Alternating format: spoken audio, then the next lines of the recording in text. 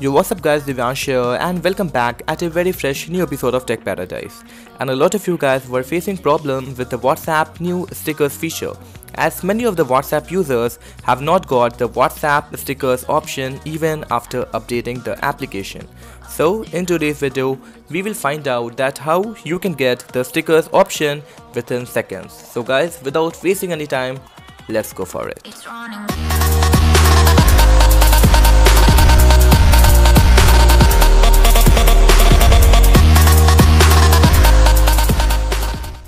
This video is going to be very short because you have to do nothing, only you have to update the WhatsApp application manually. For those who have not got the WhatsApp stickers option even after updating the application, you have to go to Chrome browser or any browser on your phone. Then there search for WhatsApp and after that open the WhatsApp official website or Android specific web page.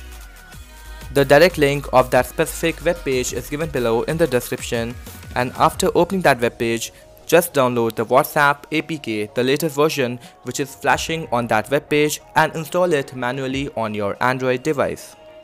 And after installing the application, just close the, uh, the WhatsApp application and reopen it and after that you will get the WhatsApp sticker feature for sure. So now I am damn sure that after watching this video, every WhatsApp user will have the stickers option on their phone for sure. And guys, if you have any question in your mind regarding this video, please ask me in the comment section and if you guys like this video, give this video a thumbs up and do subscribe to our YouTube channel for more videos on tech. I am Divyansh Arun and I'll catch you in the next one.